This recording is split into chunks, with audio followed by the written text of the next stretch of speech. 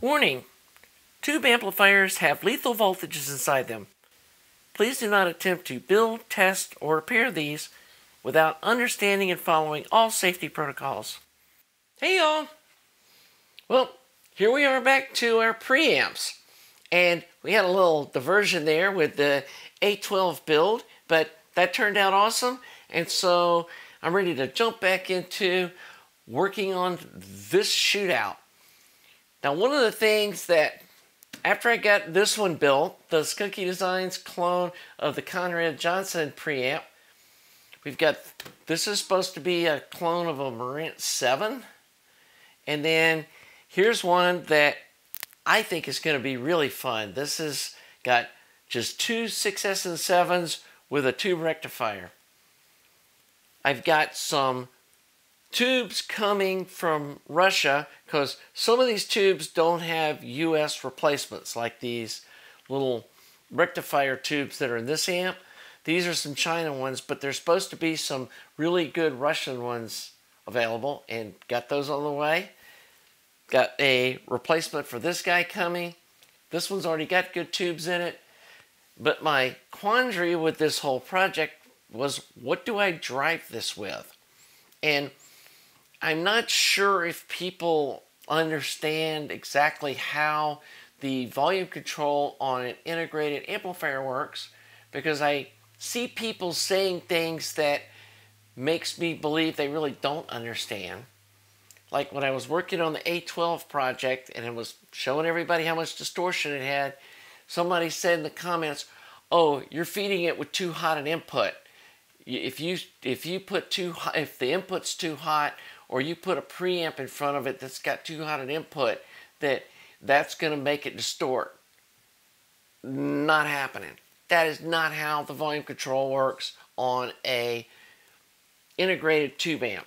All integrated tube amp volume control does, it's a passive device that goes between the input jack and the grid of the first tube.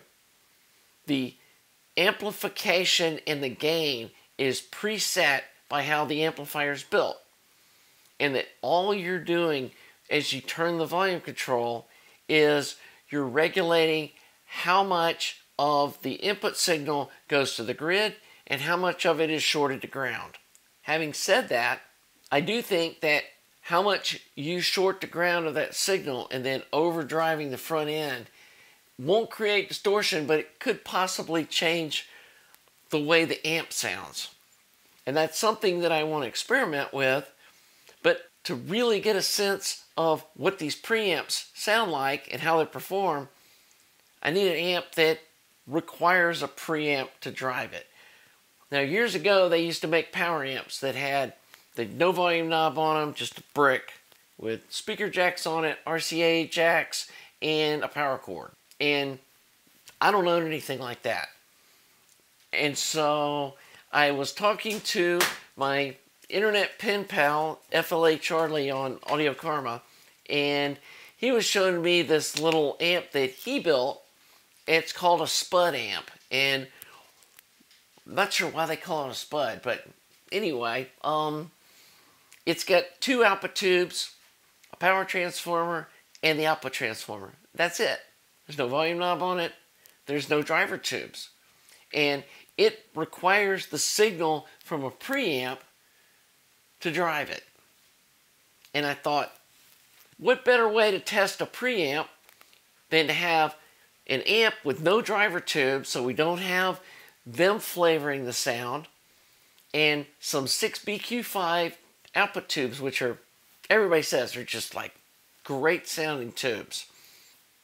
I think that's going to be kind of a side project to this shootout is to build this little spud amp. I've got the parts on the way, not real expensive. I found these musical power supply output transformers on eBay, 30 bucks each for 10 watt, and they have a 5 or 7K tapped primary. So they'll work perfect for these tubes. They don't have an ultra linear tap, but this amp that I'm going to be building be the first one too that I built just as a straight up pentode amp. So that'll be fun. It's got a really unique local feedback that's, I don't guess you'd call it global, but it comes off of the speaker jacks. So it is kind of like global feedback, but it's because there's no driver tube, it goes into the cathode of the output tube. Anyway, here's what the schematic looks like. And I know this sounds good because I trust my buddy Charlie, and he said this thing sounds really sweet. And so I think, too, that this amp is so simple and the fab work's going to be really simple. The hardest thing is going to be putting the IEC connector on the back of it. And then there's the two tube socket holes, which I don't think investing in one size punch is a huge investment if you're going to want to get into this DIY stuff. You don't have to mount the volume control because there's not one. Power switch can just be a just a flip on and off deal, which is probably what we're going to use. It's going to be in a 6 by 10 by 2 Hammond chassis. I'm getting a steel powder coated one and I'm getting one that's big enough so it's not a struggle to wired up.